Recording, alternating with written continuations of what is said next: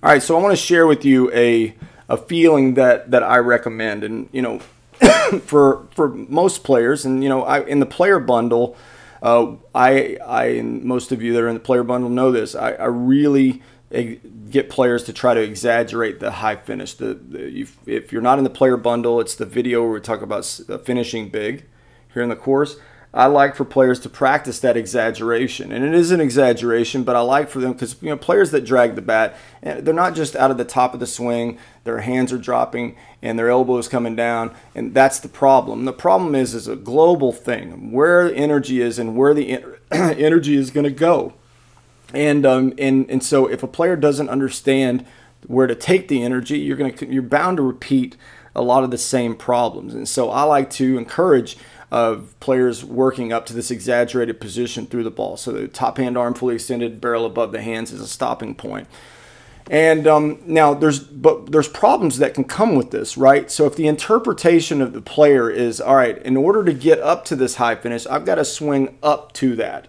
That's the wrong idea. And I'll show you you know why, but what I do to combat that is the first goal for a hitter has to be I got to get through the ball and then have the presence of mind of getting everything up, okay? So we don't want the player getting the cart before the horse when they're using that finished big idea of trying to get up to that point. They got to stay through the ball, then get up to that point. So I use this little contraption here. Um, I have a, uh, you don't have to worry about the setup here because you're going to be there and holding this. I didn't have anybody to hold this for me, right? So um, it's a PVC pipe. I don't recommend PVC pipes on in this drill because you don't want a player afraid to hit the obstruction, right? It seems like a good idea but you don't want a player to be timid when they're doing it. That you want them to be relaxed and just try to avoid hitting the obstruction. So my recommendation is use a swimming pool noodle or an, some insulation tubing, something that's just enough when they hit it, it'll they'll know that they hit it, and um, and not be not be scared to death. So. Uh, I'll show you some different angles here, but this this setup is about four inches in front of the tee, right out in front of the tee and probably a couple of inches above the top of the ball. And really, what I give players from a dynamically balanced position, I just give them one simple goal. I say, look, do not hit my obstruction, right? Hit through the ball and just avoid hitting the obstruction.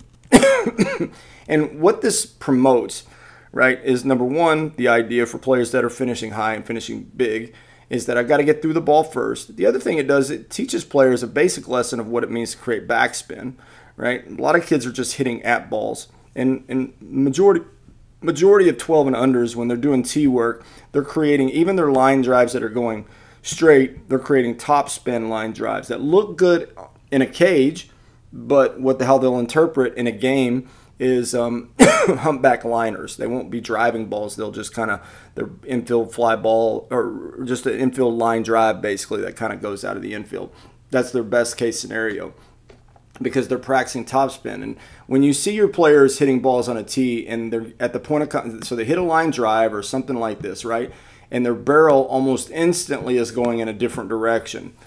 You run the risk of being what people will call a cage hitter at some point, right? Where they do well and you're like, I don't understand the problem. They hit balls really good on a tee and all this. Well, I've learned that uh, that if you if your ball flight and your barrel path on a tee are not doing something similar right after the point of contact, or at least a frame or two of video after the point of contact, you're probably not practicing something that's going to translate well in a game. No matter how pretty the swing looks, this is the other thing.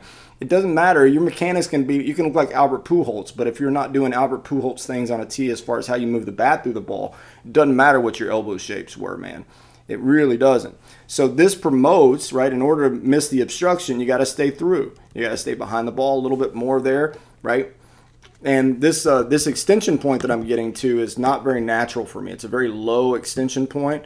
Uh, and ultimately, my extension is going to come up here, but this feeling of staying through, you see my the barrel still below my hands like that. That's a necessary feeling to understand. That's not that doesn't mean that when we go to a game, you're going to see that. But if you don't know how to do that, you're probably not going to be a, as good a hitter as you can. Like most kids, automatically their extension point wants to go up here, right? They don't stay through the ball well enough. So this is another way to encourage more through, okay? And then I like for players to combine this. Hey, don't hit my hit stick or whatever's out there. I say, and then I want you to combine it with that exaggerated high finish because I want a player that's practicing this high finish to know that the goal is not just going up to the high finish. I got to go through the ball first and then get up to the high finish. So again, the goal, don't hit the hit stick. That's the drill, all right? So I'm going to show you some different angles so you can see how this is set up. So over here behind, this is the catcher's view over here on the left. You don't want to do what I did here. You see how the PVC pipe is angled down? That's because it's on a weight like this over here. But you want to hold it parallel to the ground, as parallel to the ground as you can get it, and just have it a couple of inches above the top of the ball. The other thing is, is you don't want this to go in front of the player's hand path, right? We want, this is just something to let them know what their barrel is doing through the zone. So we don't want to obstruct their hand path. So we're going to have it a few inches past the tee. Now you want to go past the tee a little bit because um, if, if you put it like, for instance, if you stop it right here where the ball is, kids will figure out creative ways to avoid hitting the stick in the wrong way. So you want this to be an obstruction, right? So maybe leave it a few inches past the tee, okay?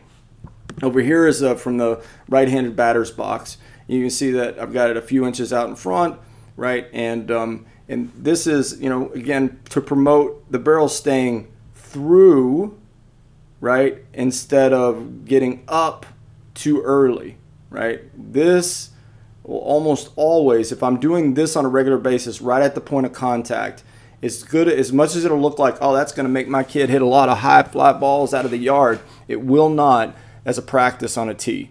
If you if you build in top spin approach, no matter if it looks like they're going to hit balls in the air, and no matter if you hit balls in the air on a tee or not, it's going to turn in in a game. It's not going to translate as the right spin. It's going to translate as a as a top spin humpback line or best case scenario. I think for would be that, right? So you want to promote the right kind of uh, dress. So if you're if your player's having a hard time with this, um, and they're you know they just can't you know they're, they're hitting balls and they just can't avoid hitting the hit stick.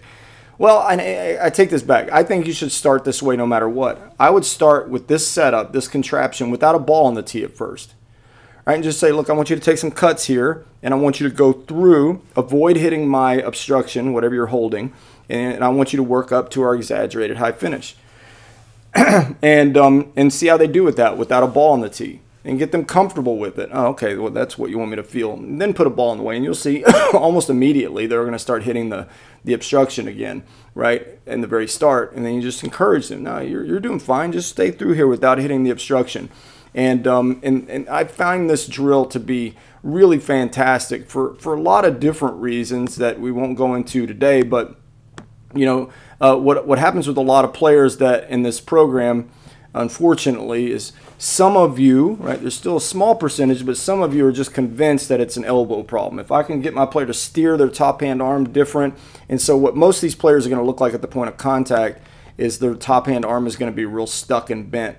And whatever direction the forearm is pointing, right, at the point of contact, the barrel is going to follow that, right? And that doesn't make sense on a ball sitting still right? So what this drill encourages is this mechanism it has to flatten out. The barrel will always follow whatever position the top hand arm is in. It's an extension of the top hand arm, right? It's the closest thing. So if the if the top hand arm is stuck like this in a, some 90 degree position pointing up, the barrel is just going to go over the top of the ball, and you don't want that. So this drill will help players uh, feel more range of motion and extension just because it's an extension of the, the barrel is going to be an extension of that. If I'm trying to avoid hitting the hit stick, my top hand arm has to extend more in order to avoid hitting it, right? So I love this feeling. Um, keep it simple. It's not rocket science. You can just start, you know, telling your player, hey, I want you to get through, but I want you to avoid hitting the, the hit stick. I want the barrel and ball to work through instead of across, right? And uh, again, I would encourage this with the exaggeration, just so players know when we're doing the exaggeration that, that it's not just go up to that, it's go through, then get up.